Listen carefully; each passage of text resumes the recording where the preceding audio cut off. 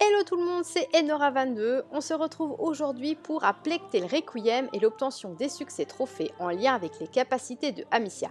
Installez-vous confortablement, c'est parti Dans ce deuxième opus, vous avez trois succès trophées vous demandant d'augmenter au maximum trois capacités. La prudence, l'agressivité et l'opportunisme.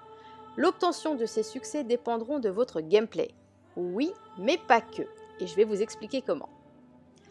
Vous le savez, dans un Plague il faut souvent faire deux runs pour terminer le jeu à 100%.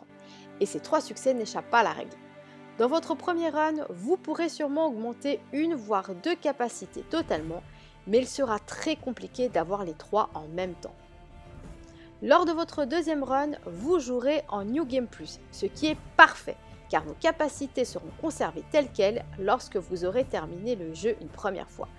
Je vous conseille également d'activer l'option Invincibilité afin de terminer plus rapidement les chapitres.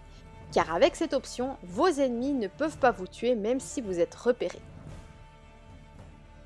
Alors comment faire pour augmenter vos capacités?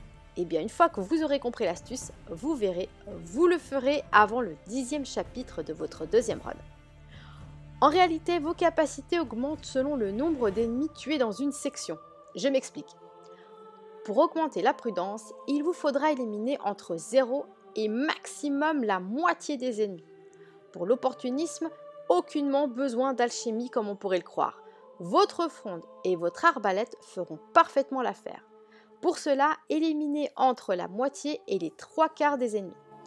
Enfin, pour l'agressivité, vous l'aurez compris, il vous faudra tuer la totalité des ennemis.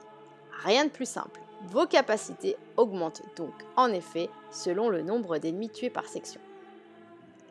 Et voilà, n'hésitez pas à mettre un pouce vers le haut sur cette vidéo si elle vous a plu. On se retrouve très bientôt. À la prochaine. Ciao